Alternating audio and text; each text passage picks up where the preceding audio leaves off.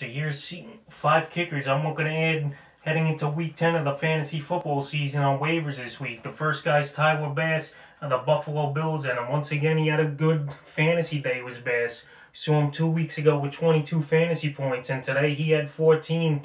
He hit one 20 yarder, a 30 yarder, a 40, and five PATs. This Buffalo offense, they're scoring a lot of late. Allen, this was his best game in five, six weeks for him. But Bass, he's getting opportunities to kick more.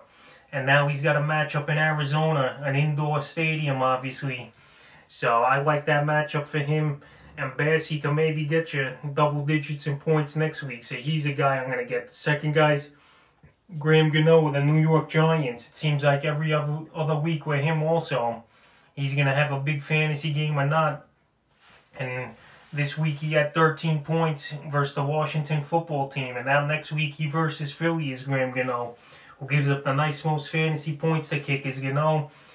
Him and Bass, they're both out there in 95% of fantasy leagues, so you should definitely go out there and try to get him if you need a kicker, if someone's on bye or not. So, you know, he'll have opportunities. The Giants and Philly in their Week 7 matchup, it was actually a low-scoring game, surprisingly, for both teams. 22-21, the Eagles won that one.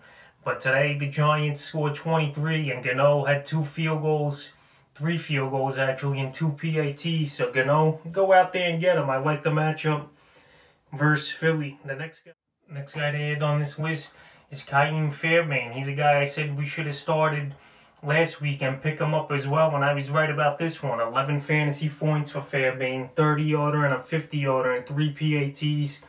He's available in 68% of fantasy leagues is Fairbairn. So he's got a good matchup again coming up Today was an easy one versus Jacksonville. Now he goes to Cleveland. I could see that game being a field goal type of battle in Cleveland, especially if the weather ain't great in Week 10. So Fairbairn, like I said, he's available in a lot of leagues. Go out there and get him. The fourth kicker is Mason Crosby of the Green Bay Packers. He's been off the radar the last few day, weeks to pick up and play. But he's coming off a good game here in Week 9 with 11 fantasy points is Crosby. He's in a high-powered offense. He's going to get opportunities. Crosby, he was banged up, but he mounts back versus Frisco. Now with the 10 days off, he'll have rest. And now in Week 10, he's got a good matchup for kickers versus the Jacksonville Jaguars, who give up the third most fantasy points to kickers. So Crosby, he's available in 75% of fantasy leagues. Go out there and get him as the fourth option. The fifth and final guy to the kicker at waiver wise, Brandon McManus. We saw him have a good game once again with 11 fantasy points in Atlanta this week. He's available in 77% of fantasy leagues, 67, I mean, percent of fantasy leagues. He had 11 points. McManus, you know he's good for 40 to 50 yards. He's got a big leg.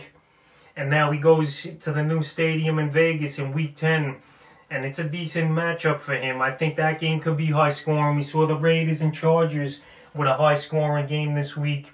So this one could be too. So that's five kickers I'm looking to add on waivers heading into week 10.